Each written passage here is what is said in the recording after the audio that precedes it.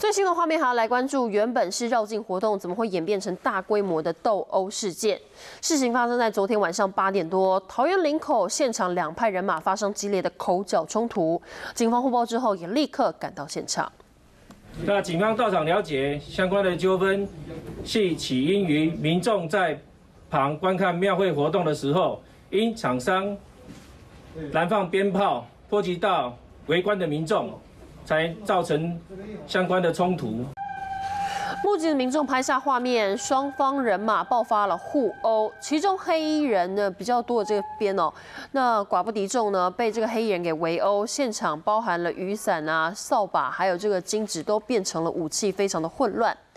调查原因是因为有民众在旁边看绕境的时候被鞭炮泼及，才会发生冲突。目前警方已经扩大了监视器，要来调阅，而且锁定了十部机车，查缉到六名嫌犯到案，其他的嫌犯目前还在追缉中。